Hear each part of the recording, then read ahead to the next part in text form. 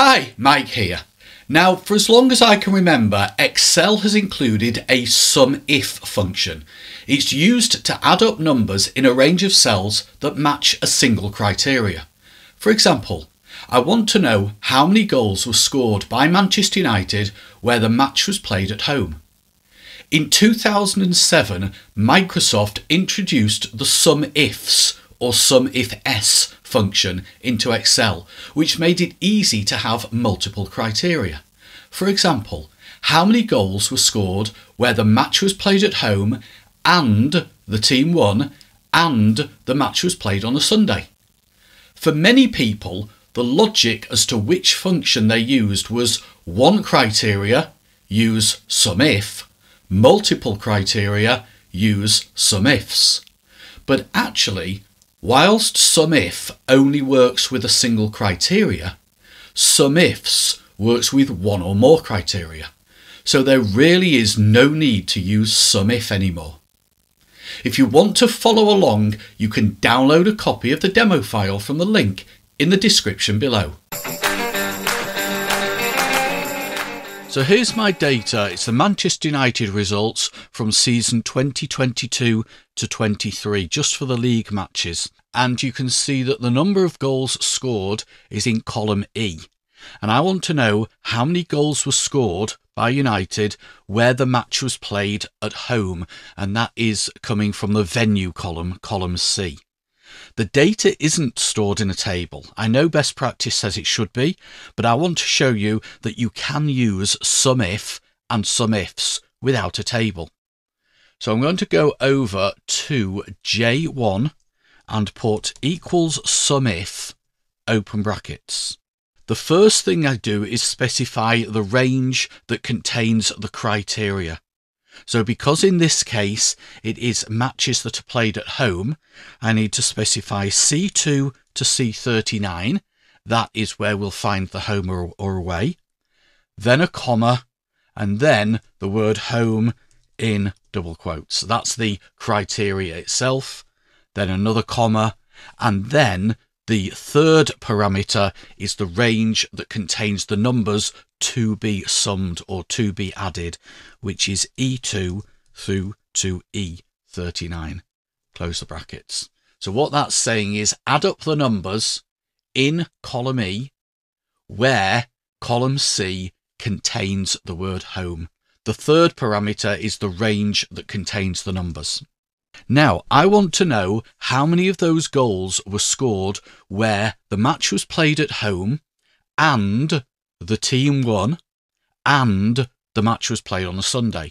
Because I have more than one criteria, I'll need to use some if s or SUMIFS, depending on how you want to say it. So the formula there is going to be SUMIFS, open brackets. Now with the SUMIFS function, just to confuse us, the sum range comes at the beginning, whereas the sum if function, the sum range, the range that contains the numbers, comes at the end. So the sum range here is column E, E2 to E39, comma, and then we have the criteria range and the criteria.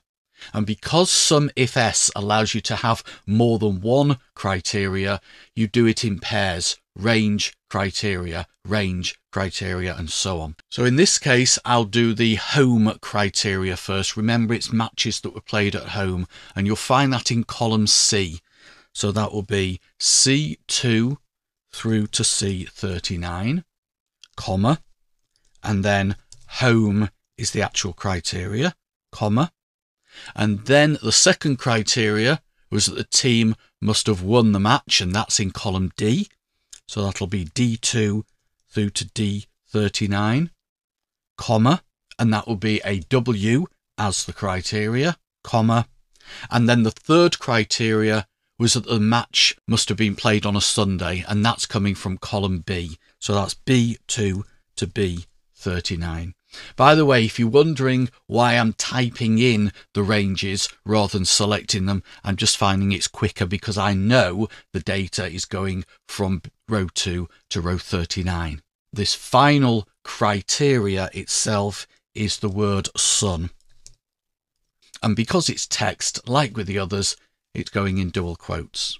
So that's showing us that we've scored 10 goals where the match was played at home and the team won and the match was played on a Sunday. But going back to the first example, where I had a single criteria, I want to know how many goals were scored where the match was played at home, I used SUMIF.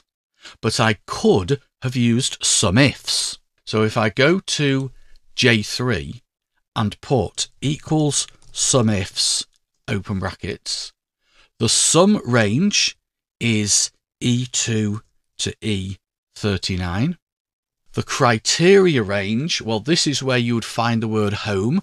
So that is C2 to C39. And the criteria itself is the word home. So that's it. Apart from the fact that you only have to remember one function, there's other benefits of using SUMIFs too. The range containing the numbers to be summed is the first argument, and to me, that makes more sense than SUMIF, where the range to be summed is the third argument. But probably the biggest benefit is that if you start with a single criteria and later decide you need to add additional criteria, you just need to edit the formula and add the additional criteria at the end. I hope you found the video useful. If you did, please give it a like. And if you're not already subscribed, please consider subscribing to the channel. I'll catch you in the next video, but until then, have an excellent day.